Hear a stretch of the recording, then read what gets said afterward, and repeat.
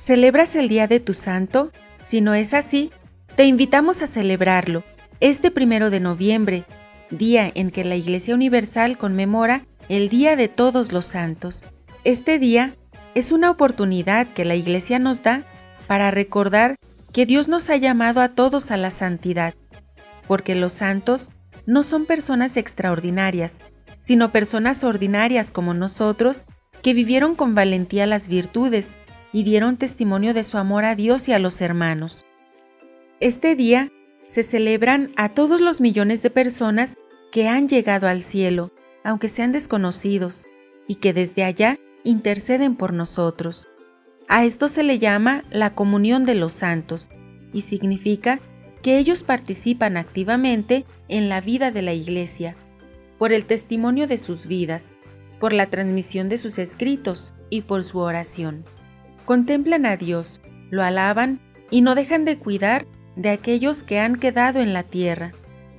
La intercesión de los santos significa que ellos, al estar íntimamente unidos con Cristo, pueden interceder por nosotros ante el Padre. La veneración de los santos comenzó desde los inicios de la Iglesia Católica, cuando los cristianos eran perseguidos y martirizados por causa de su fe. Cuando cesaron las persecuciones, se unió a la memoria de los mártires el culto de otros cristianos que habían dado testimonio de Cristo con un amor admirable, sin llegar al martirio, es decir, los santos confesores. Ellos confesaron su fe ante los perseguidores, y cumplieron condenas de cárcel por Cristo. Más adelante se reconoció como santos a los mártires de corazón, es decir, a las personas que llevaron una vida virtuosa y que dieron testimonio de su amor a Cristo.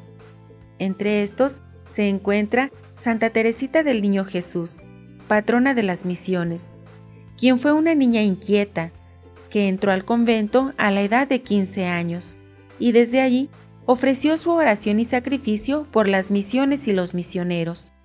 Santa Teresita tenía un gran celo apostólico que le impulsaba a querer ser misionera en aquellos lugares donde todavía no se conoce a Dios. Pero desde su convento de clausura y postrada por la enfermedad, ofreció sus dolores y sufrimientos por los misioneros que caminan largas jornadas por montañas y caminos para llegar a las comunidades más alejadas y poder compartir allí la palabra de Dios. Todos estamos llamados a la santidad y todos estamos llamados para compartir nuestra fe. La Sompe México te invitan a celebrar el Día de tu Santo. OMPE México